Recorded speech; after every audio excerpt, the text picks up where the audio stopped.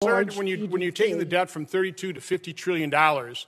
Are you concerned who's going to buy that debt, and also at what rate they'll expect to be compensated for buying riskier and riskier debt? Are you concerned about that? Well, if the net interest, real net interest cost of the debt remains low relative to GDP and we're on a sustainable fiscal. Well, we're, we're not we're not we're not on a Well, sustainable I- path. I- I- you're going to drive the debt from somewhere around 32 trillion up to about 50 trillion dollars, correct?